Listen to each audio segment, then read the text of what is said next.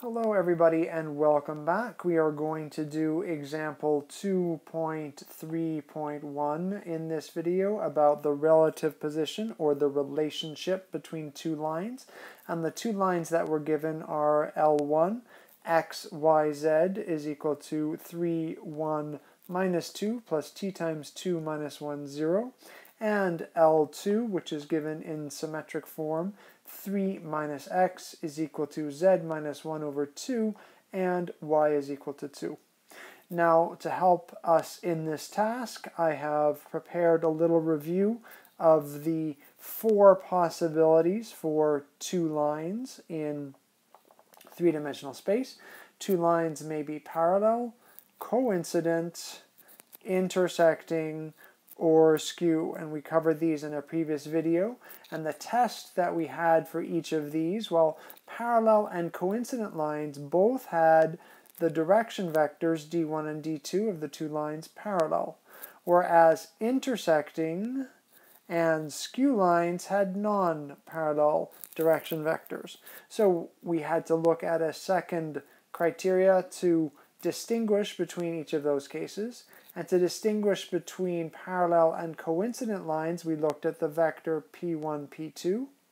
And in parallel lines, p1, p2 was not parallel to the two direction vectors, whereas in coincident lines, p1, p2 was parallel to both.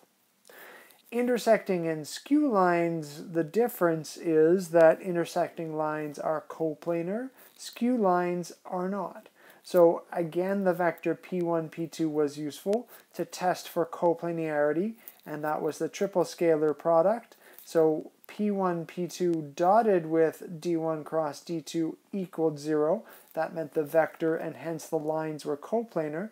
That was the case for intersecting lines, and p1, p2 dotted with d1 cross d2 was non-zero for skew lines. So that gives us a bit of a strategy to approach our example. The first thing we're going to do is look at whether we have a parallel set of direction vectors or non-parallel. And then depending on our result, we'll proceed down to the appropriate test afterwards. So let's go back into our example. Again, 2.3.1. And L1 is given in vector form, so we can see the position vector of a point P1, which is 3, 1, minus 2. We can also read the direction vector of this line directly as it's given, so 2 minus 1, 0. L2 is going to require a little bit more work since it's in symmetric form, so we remember that those equations are all equal to t. So 3 minus x is equal to t. That tells us that x is 3 minus t. y is equal to 2, well that's just given. And we have z minus 1 over 2 is equal to t. That is going to tell us that z is 1 plus 2t. Now here is the line in parametric form and we can read off the point more easily now. So P2 that we can see is the point 3, 2, 1 and the direction vector d2, the coefficients of t is minus 1, 0, 2. And so the first thing that we want to do is we want to look at these direction vectors and we want to ask, are they parallel? In other words, is d2 some multiple of d1? And if it were, then we'd have this little system of equations. We'd have d2 is minus 1 would have to be equal to 2 times k for the x component. 0 would have to be equal to minus 1k, and 2 would have to be equal to 0 times k or 0. So without going any further, right, we can see right away that that is not true, that we have a little inconsistent, inconsistent system. And therefore, those two vectors are not parallel, which tells us that we are not dealing with parallel or coincident lines. Our lines our lines must be either skew or intersecting.